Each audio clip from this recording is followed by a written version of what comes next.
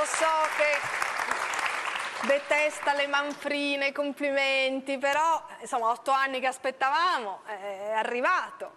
Eh, quindi, come dire... Ti ho portato un regalo. Pure. Ho ricevuto da te i sonetti del Belli, perché siamo in via Belli, e io ho portato invece un presepio, perché oggi, poverino, è morto Gesù Cristo, e invece è meglio quando è nato, capito? Più allegra l'idea. Che bellino, Guarda. molto bellino. Non Chissà so. se c'è una camera di Qua, là. forse di qua. Ecco, mo- Vedi? un pensiero molto carino. E di chi è questo presepe?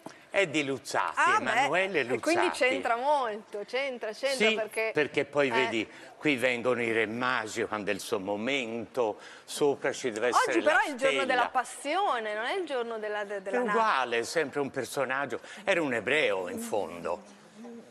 Non so se Molto bello, grazie. Eh, Mamma mia, che bel regalo. giochi un po'. Ti ringrazio tanto. No, Perché- Luz- con Luzzati, eh, con Luzza- su il Io sodalizio. l'ho conosciuto nel 58. E Spiega allora chi era Luzzati, che non tutti lo è sanno. uno scenografo che Lo durante scenografo. un grande scenografo che però durante la guerra era scappato in Svizzera mentre un altro amico mio ebreo ricco era scappato con tutti gli anelli nelle dita delle mani e dei piedi lui col suo solo talento è andato e ha cominciato a fare dei pupazzi così di fantasia perché dalle scuole è stato cacciato nel 38 in Italia gli ebrei venivano cacciati via. Io sono di una città, Firenze, in cui c'erano molti ebrei perché il toscano Morfeo, il Granduca Pietro Leopoldo, ospitava questi rifugiati che erano persone di talento a volte, come poi dall'Inghilterra sono scappati i profughi per andare a fare l'America e sicché e anche oggi dei nostri migliori ragazzi pigliano e scappano e vanno Ma tu all'estero. come l'avevi conosciuto? L'ho conosciuto perché sono andato in una compagnia quasi amatoriale mm, di Genova in cui si facevano però repertorio moderno. E ho fatto fin de partie. Ah, aspetta, aspetta, perché la storia però io la voglio raccontare dall'inizio. Però ora che parli di Luzzati, no, eh, è vero che stai preparando questo libro meraviglioso No, io non lo preparo, lo prepara una Eh. signora che si chiama Marina. No, so che questo libro è un evento, perché tu non vuoi mai libri su di te, i libri che parlano di te, invece l'editore Maschietto ti ha convinto. Quando esce questo No, libro? eh, è venuta questa signora e mi ha fatto chiacchierare un po' della mia amicizia con Luzzati e poi lei ci metterà tutti i suoi sapori di critica, eh, di storia dell'arte, capito? È meglio che non parli della prospettiva, perché il mio amico faceva tutti i pavimenti, un po' andava in qua, un po' in là, era estroso. Vabbè, non aveva comunque fatto insomma, se, nessuna se- se ne riparla in autunno, credo a ottobre, no? Comunque, di Ma questo intanto libro qui, straordinario. finché la signora scrive- Eh, infatti, sta- la signora sta lavorando, però insomma mi hai fatto questo regalo e quindi eh, mi è venuto in Questo mente. mi è venuto in mente a me perché almeno si vede qualche cosa. E difatti, eh, Eh. se- se no non si vede niente. Hai appena finito la tournée. I, Io sì, I sì. vigili del fuoco hanno apprezzato? Meno perché Perché nel so che hai una manifesto- teoria tu sui vigili del sì, fuoco. questa è una teoria vecchia degli anni 30, quando ehm, il fratello di De Chirico eh, ha scritto Palchetti romani e dice quando la commedia è bella si vede sempre una gamba di un pompiere, allora si chiamavano così, oggi bisogna dire vigile del fuoco, come si dice collaboratrice domestica, si dice più la serva. Beh, Guai. meglio, è più carino, no? È più carino, Ah. sì. E allora i vigili, siccome lo vedono tutte le sere, la noia mortale. Quando vedi la stessa gamba per tutte le soldi che piace. E questa volta c'erano le gambe dei Sì, del poco ormai, perché ci mandano i vecchi. I giovani stanno a vedere le partite di calcio e tutte le sere in televisione c'è il calcio che ci fa la concorrenza. E quindi a loro teatro dei vigili del fuoco anziani. bruttissimi. Oddio. Ma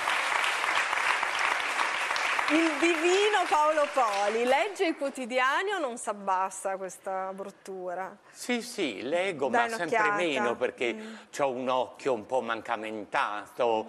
Sai, vedrai con la vecchiaia, c'è un ginocchio che... mm, L'hai detto con un va. po' di sadismo. No, no, è- però non è senza qualche dolcezza anche la vecchiaia, perché l'idea di rimanere perennemente lì a sedere davanti al nostro Signore proprio non la sopporto.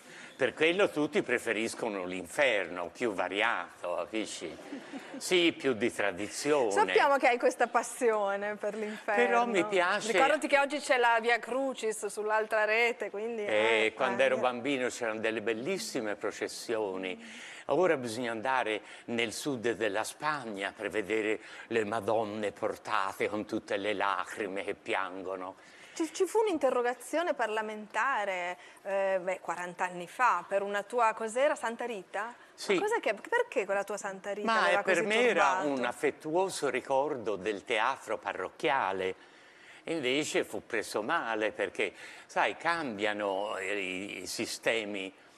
E nello spettacolo eh, mi ero vestito da suora e io stavo benissimo, perché con la vecchiaia le prime cose sono i bargigli qui, e invece la suora, anche le grandi attrici, quando cominciano a invecchiare,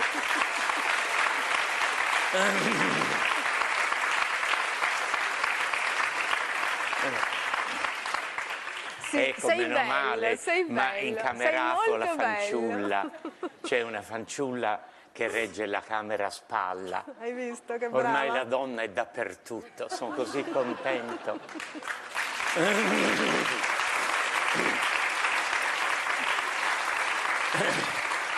Ascolta, hai fatto anche televisione. So che non è che Da hai se nostalgia, eh, ma adesso ti tutti. faccio vedere perché secondo me hai fatto delle cose meravigliose. Le hai un po' Ma- rinnegate, però adesso No, ti, ti obbligo a no. rivederti. Va bene. Guarda.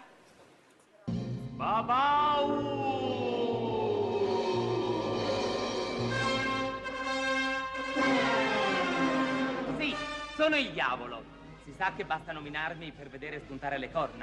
Oh, Tabaran, oh, Tabaran, grande mago davvero sai tu, se corrompi perfino la virtù. Lei è sposata, signora? Certo, certo. Brava, allora è una vera anticonformista. Signora, come le piacciono gli uomini, buoni o cattivi? Cattivi. Brava, ha ragione. Perché vede, alle donne è sempre piaciuto l'uomo cattivo, perché così hanno l'impressione di migliorarlo personalmente. No, no, no, no, no, no.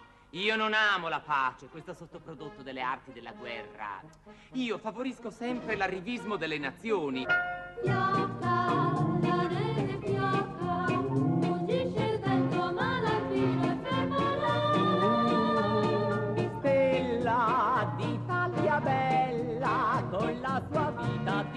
Ti difenderà. Sul lago Tana, quando la notte si avvicina, si fa il saluto alla romana, per chi combatte e per chi muore. Ed ora la domanda più difficile. Siete donna? Donna io? Ma come vi permettete? Io sono una signora.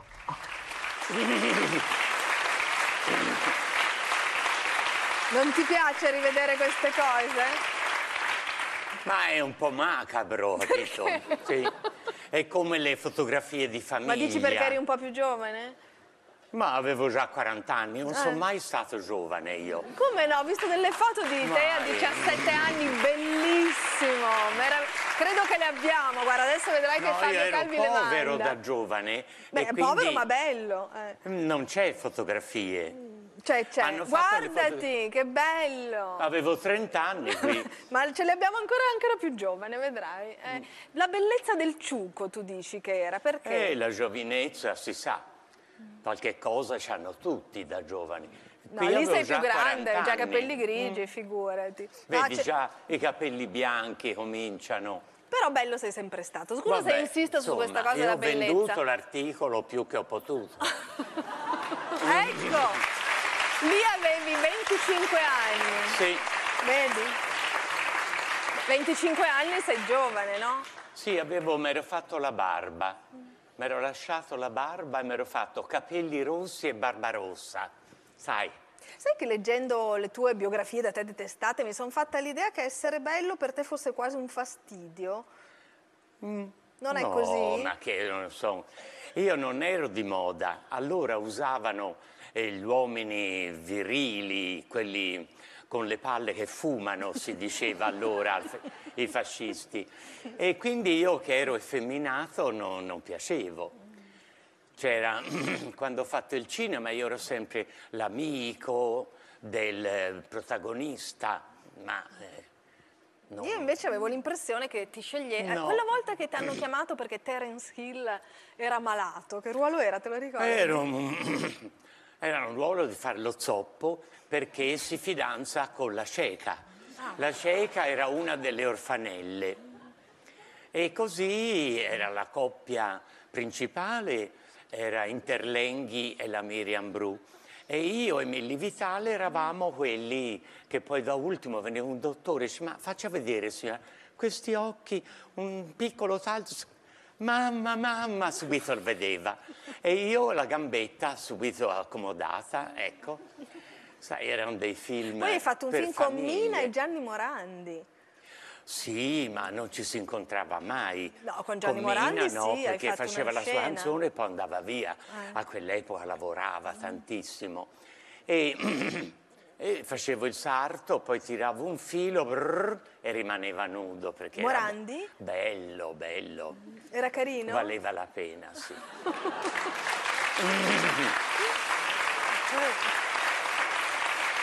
Senti come ti descrisse Tullio Kezic al tuo debutto quasi a teatro. Immaginate di possedere un bel quadro e di non avere una parete alla quale attaccarlo. Questa è la situazione del teatro italiano di fronte a Paolo Poli, un fiorellino inclassificabile. Ma carino era. Ci ho mangiato insieme fin da ultimo. E poi è morto, adesso non vedo quasi più nessuno. Ti senti ancora un incontro- fiorellino inclassificabile? Ormai l'età, No, sei diventato ma un maestro, vuoi, non lo sai. eh, quindi non sei Non più così sfuggente. nulla. Beh, insomma, sei sempre stato molto trasgressivo e nessuno ti Però eh, la mia mamma era d'accordo con me, era delle- mm, della, mm, pensava come Jean-Jacques Rousseau. Dice Paolo, fai come ti senti, il bambino è perfetto, sbagliata la società. Che meraviglia! Sicché Infatti, quando ti trovò a leggere un libro porcellone, che avevi otto anni, la mamma cosa disse? Sì, sì, leggilo, ma poi restituisci la chi te l'ha prestato. Non volle sapere il peccato. Erano le fortunate edizioni Nerbini di Firenze, in cui aveva pubblicato Carolina Invernizio, una delle nostre grandi scrittrici del secolo eh, XIX.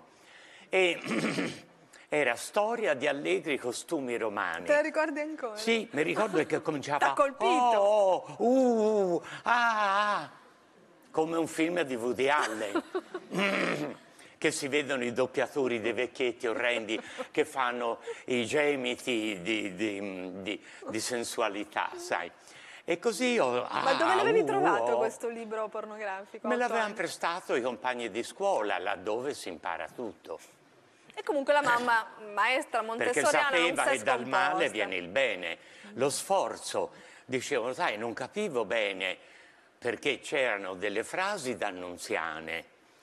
Di- dice, egli si mise a visitare tutte le cappelle, ehm, e invece era fra le gambe della signora che avveniva la visitazione.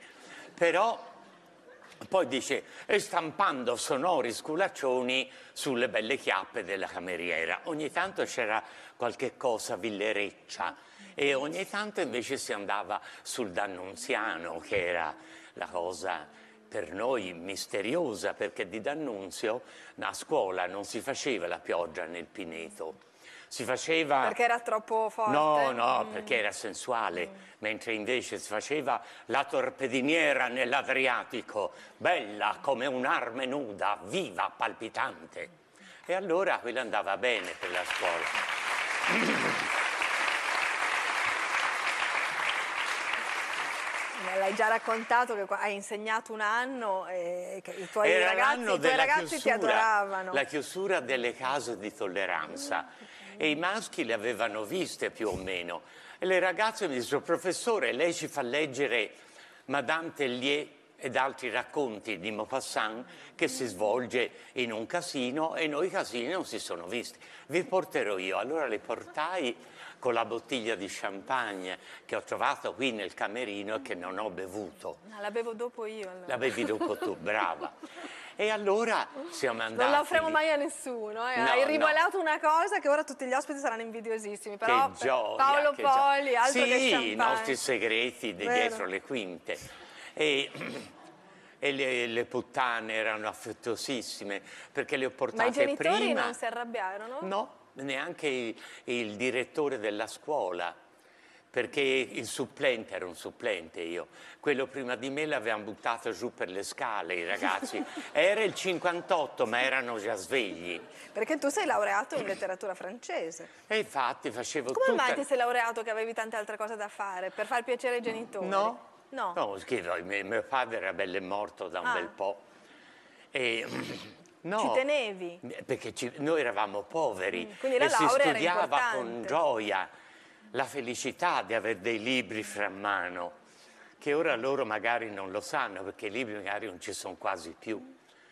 Come Il mai hai cartaceo- lasciato la televisione, il cinema mm, e ti sei dedicato poi completamente al teatro? Non ti hanno... Perché dal vivo, quando arriva mi guardano così dopo un po', li vedo che mi sorridono, è lì la mia paga, è l'applauso, è la- il sorriso del pubblico che mi, mi- mi dice sì, oggi sono vissuto, eccomi, cosa ho fatto di mestiere? Sono stato qui a farli, eh, insomma, Ti sei divertito parecchio, mi sa. ma sai, è una maledizione della Bibbia il lavoro, eh, non è un divertimento. Perché quando Geova arrivò nel giardino gli disse, tu partorirai, tu striscerai e tu suderai. E sicché io per ora sudo. Ho provato anche le altre, ma non ci sono riuscito.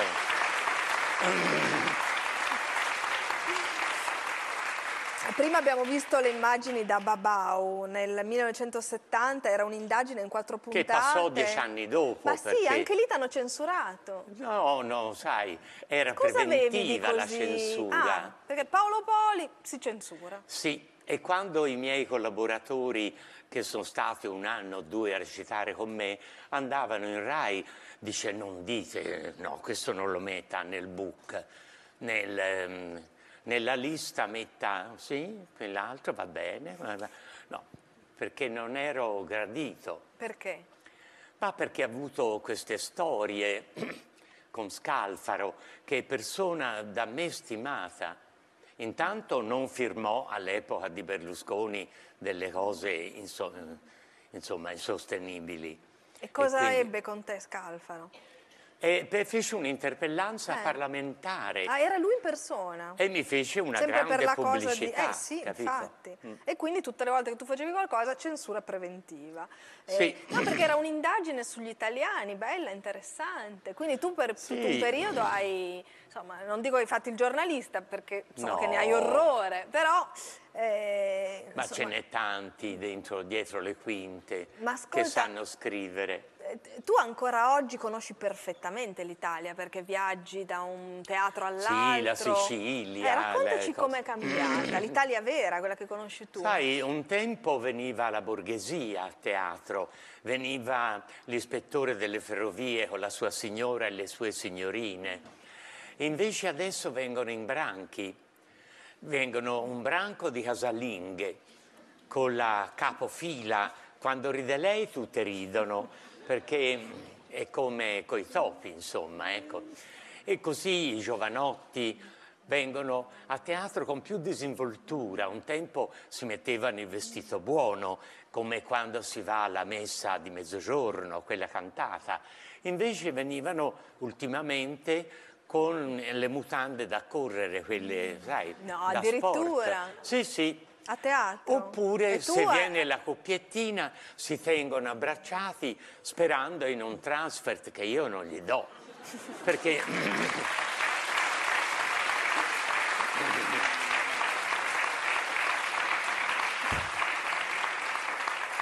Ho letto che avevi provato ad adottare dei bambini. È perché era la chiusura della maternità infanzia e ancora non era diventato eh, comunale, eh, asilo, e c'era dei bambini di quattro anni e camminavano a gattoni pieni di piscio che sapevano due parole, mamma e cioccolata e basta. E allora c'era una vecchia mona che dice prenda, prenda, scappi via. Ho acchiappato due bambini e sono scappato via, è uscito fuori il guardiano dalla sua gabbiola di, di vetro e mi ha riacchiappato, me l'ha riportate lì. E poi mi hanno fatto tutti gli esami psicologici. E allora c'era un salotto dove questa signora psicologica, come c'era prima, mi chiedeva di qui di là la figura femminile nella mia famiglia. Io ho la mia mamma ancora viva e vegeta, perché poi invece ho preso due gi- giovanotti, due ragazzi, uno di 14 uno di 12. Ti hanno dato quindi in affido? bambini? un'estate, Ah. poi dopo sono tornati. Com'è andata? Erano fratelli, ma non si conoscevano. Uno stava dai frati, metti, Barnabiti, quell'altro dai frati, eh, quegli altri, e sognavano di tornare nel branco, perché non avevano una personalità. So che una singola. signora ti aveva anche proposto di fare un bambino con lei. Era una scema intellettuale. Sì, gli ho risposto come rispose, eh, come si dice, eh, George Bernard Shaw a quella grande attrice che gli propose di fare bambino, dice verrebbe intelligente come lei e bello come me. Dice no, verrà brutto come me e stronzo come lei. Non disse così, ma insomma più o meno. Ho letto in Siamo tutte delle gran bugiarde, quel libro scritto da Giovanni Pannacci, che tu consigli per la vita sentimentale di darsi ad avventure infime. In che senso? Beh, gliel'ho detto a lui che si dia da fare perché Ah, non vive- vale per tutti. No, Ah. perché viveva in una cittadina di provincia. Vabbè, adesso non facciamo pettegolezzi su Pannacci, ma, No, eh, ma no, allora io mi chiedevo detto, se fosse la tua Datti filosofia. da fare. Dico, basta buttarsi sul mercato, clienti se ne trova. Sì? E gli dicevo, guarda, se trovo io, perché il libro è di una decina d'anni Eh, fa. ma tu sei, ripeto, non vorrei sembrare, ma tu sei sempre stato molto bello. Ma figurati, Eh, a come 80 figurati? anni la gente vuole carne fresca sul mercato. Eh, E, e quindi non seduci più, hai- no. non sei più interessato, come dicevi tu all'articolo? gli intellettuali, prova a andare nel mercato vero. È più in divertente? mezzo sì, a me piace andare in autobus la mattina quando vanno i bambini a scuola, andare a vedere il mercato, quanto costa la roba, vedere le vecchiette che comprano, furbe che sgomitano, più vecchie e malate sono che passano avanti a quell'altra, capito? Non ti sei mai fidanzato? Ho Fidanzamenti avuto Da lunghi? giovane delle fidanzamenti Convivenze? con donna. Convivenza ho avuto con un uomo, ma era straniero e viaggiava continuamente. Viaggiavo anch'io, non ci si incontrava mai, quindi era un matrimonio ben studiato. A proposito di matrimoni, tu dei matrimoni gay cosa pensi? È noioso, dice, hai messo tu il sale nella pentola? No, dice, guarda, perché io metto l'aglio a crudo e poi levo il pomodoro. Io posso impazzire. Credevo che questo fosse il secolo del sesso, invece è il secolo della cucina. Apri la televisione e non si vede altro questi che spadellano col cibo biologico. Sesso, cibo. E quindi è un secolo noioso. Un po' noioso. No, ma eh, sai, io poi mi accingo ad andare a salutare la Madonna dove si trova. Eh, Intanto aspettiamo questo libro in ottobre, quando esce, che è straordinario. E, Ma straordinario. Sai, il mio amico era ca- carinissimo perché aveva comprato la macchina delle fotocopie.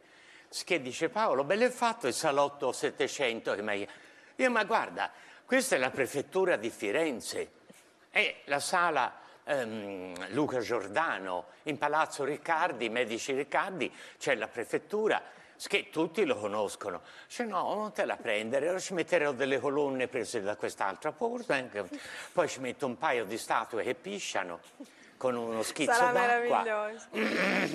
E infatti nessuno l'ha riconosciuto. A Firenze ho dovuto dirglielo io che questa sala un po' algida, che mandava benissimo per le marchese del Settecento, cattive, sai, perché io ho sempre adorato i personaggi cattivi. Quando ero bambino mi faceva fare il principe che io detestavo, volevo fare la strega, l'orco, ma invece avevo le sorelle e le cugine più grandi, facevano loro i mostri. Adesso però che puoi decidere tu, E infatti mi sfogo. eh. Il prossimo spettacolo cosa farai di cattivissimo? Non so nulla, non so nulla ancora. Ma non ci credo, come fai a- Odio. A, vivere senza pensare al prossimo spettacolo? No, ma che sai, idee ne vengono così cos'ha, ma non sono finché fra il dire e il fare c'è di mezzo il mare. E quando non sei a teatro cosa fai? E vado a vedere la mostra che c'è di quadri. sai, a Roma alzi gli occhi e c'è qualcosa da vedere. A Firenze lo stesso. Mille cenacoli dove per esempio c'è un cenacolo vicino alla stazione di Firenze dove non si può andare, bisogna fare la richiesta in carta da bollo perché ci sono gli ufficiali che mangiano davvero come le monache di una volta. E quindi non ho visto ancora questo bellissimo Tu soffri di cenacolo. solitudine? No, anzi adoro, perché sono sempre stato circondato da tanti fratelli, eravamo sei, tre da capo, tre da piedi, a dormire nei rifugi, i bombardamenti, la guerra mondiale, le emozioni non mi sono mancate. Però che gioia quando mi sveglio alle tre di notte, allargo le gambe, non c'è nessuno, che gioia. E cosa fai? Rimani a letto e ti godi la solitudine? No, mi alzo, bevo un bicchiere d'acqua, fa una fisciatina, sai, come i vecchi. E poi leggo.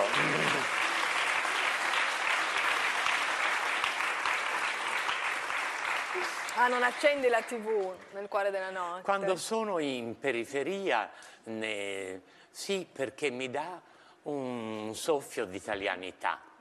E allora invece vedo un film americano. Ultimamente in queste notti ho acceso e c'era Catherine Hepburn vestita da ragazzo. Come era carina, geniale, con questo suo visino.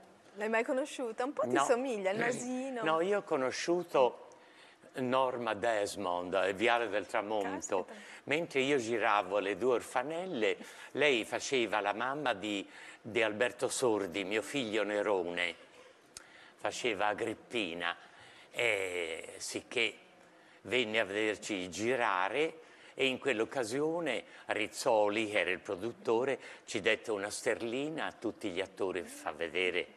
Si andava avanti così.